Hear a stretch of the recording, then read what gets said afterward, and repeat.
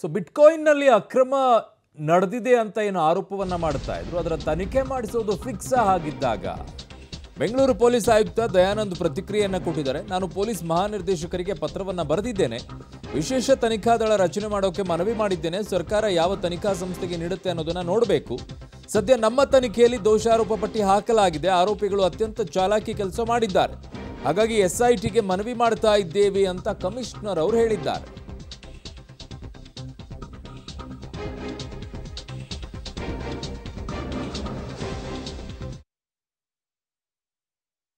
ಬಿಟ್ಕಾಯಿನ್ಗೆ ಸಂಬಂಧಪಟ್ಟಾಗೆ ಕಾಟನ್ಪೇಟೆಯಲ್ಲಿ ದಾಖಲಾಗಿರ್ತಕ್ಕಂಥ ಅಪರಾಧ ಪ್ರಕರಣ ಏನಿತ್ತು, ಅದರಲ್ಲಿ ಎರಡು ಅಂಶಗಳು, ಒಂದು ರಾಜ್ಯ ಮತ್ತು ಅಂತ ಅಂತಾರಾಷ್ಟ್ರೀಯ ಮಟ್ಟದ ಒಂದು ಜಾಲ ಇರ್ಬೋದು ಅಂತಕ್ಕಂಥ ಒಂದು ಸಂಶಯ ಇರತಕ್ಕಂಥದ್ದು.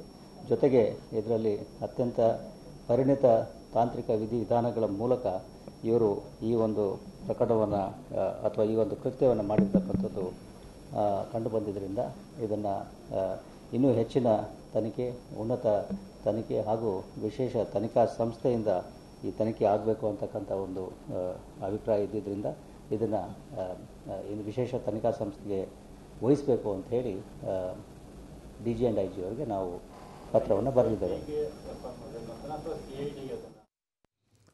ಸಹೋದ್ಯೋಗಿ ಕ್ರೈಮ್ ಬ್ಯೂರೋ ಇಂದ ಮುರಳೀಧರ್ ನನ್ನೊಂದಿಗೆ ಈಗ ಸಂಪರ್ಕದಲ್ಲಿದ್ದಾರೆ. ಮುರಳಿ, ಈಗ ಬಿಟ್ಕಾಯಿನ್ ವಿಚಾರದಲ್ಲಿ ತನಿಖೆ ಮಾಡುವಂಥ ಹಂತಕ್ಕೆ ಈಗ ಸರ್ಕಾರವೂ ಕೂಡ ದೊಡ್ಡ ಹೆಜ್ಜೆಯನ್ನು ಇಡುವಂಗೆ ಕಾಣಿಸ್ತಾ ಇದೆ. ಬಹಳ ದೊಡ್ಡ ಜಾಲ ಇದ್ದಂಗಿದೆ ಇದರಲ್ಲಿ, ಅಲ್ವಾ ಮುರಳಿ? ಖಂಡಿತವಾಗಿಯೂ ಅರುಣ, ಯಾಕಂದ್ರೆ ಪ್ರಮುಖವಾಗಿ ಈ ಪ್ರಕರಣಕ್ಕೆ ಸಂಬಂಧಪಟ್ಟಂತೆ ಮೊದಲಿಂದನೂ ಕೂಡ ಕಾಂಗ್ರೆಸ್ ಸರ್ಕಾರ ಸಾಕಷ್ಟು ಮಹತ್ವದ ನಿರ್ಧಾರಗಳನ್ನ ಕೈಗೊಳ್ತಾ ಇತ್ತು. ಯಾಕಂದ್ರೆ ಗೃಹ ಸಚಿವ ಪರಮೇಶ್ವರ್ ಕೂಡ ಒಂದು ಹೇಳಿಕೆಯನ್ನ ಕೊಟ್ಟಿದ್ರು, ಇದರ ತನಿಖೆಯನ್ನ ನಾವು ಮಾಡೇ ಮಾಡ್ತೀವಿ ಅಂತ ಹೇಳಿ.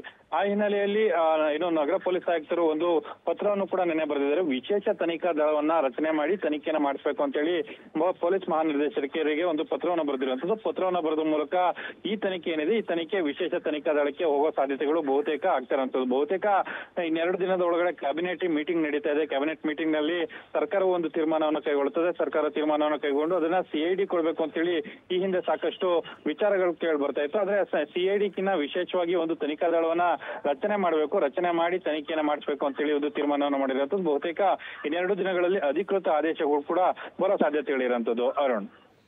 ಓಕೆ ಮುರಳೀಧರ್, ನಿಮ್ಮೆಲ್ಲ ಮಾಹಿತಿಗೆ ಧನ್ಯವಾದಗಳು.